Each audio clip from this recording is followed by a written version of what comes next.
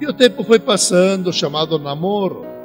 Pois vem o noivado e hoje eu sonho aquele olhar vai se tornar realidade. Dentro de poucos instantes, um ao outro vocês vão dizer assim: Eu te aceito, eu te acolho na minha vida.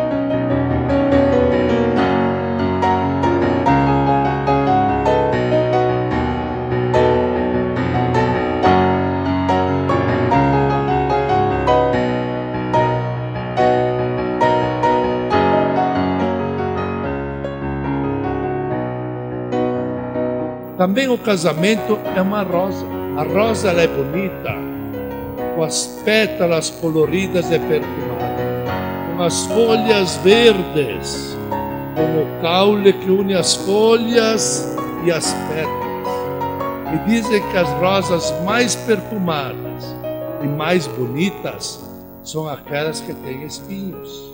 O casamento é bonito no seu conjunto, o casamento é uma rosa. Natália, a rainha do lar, o Lucas completa o lar. Lucas e Natália, abraçando o matrimônio e desprometer amor e fidelidade um ao outro. É por toda a vida que prometeis? Sim. Sim. Natália, queres me receber, Lucas, por teu esposo, e me promete ser fiel, amar-me e respeitar-me, na alegria e na tristeza, na saúde e na doença, todos os dias de tua vida? Sim. Lucas, te recebo por meu esposo e te prometo ser fiel, amar-te e respeitar-te, na alegria e na tristeza, na saúde e na doença, todos os dias de tua vida? Sim. Que Deus abençoe a vocês e jamais se separem o que Deus uniu.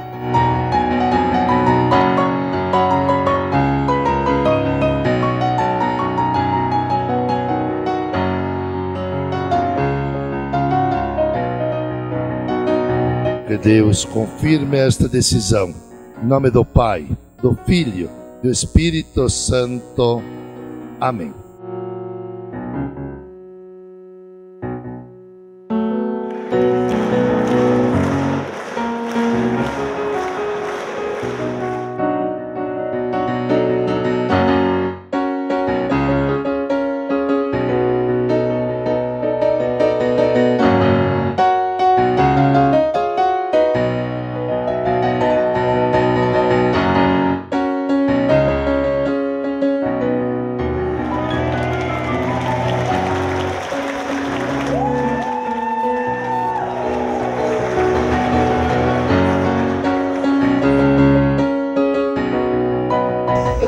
Esse momento para sempre na minha memória, porque vocês estão fazendo parte desse dia mais feliz de nossas vidas.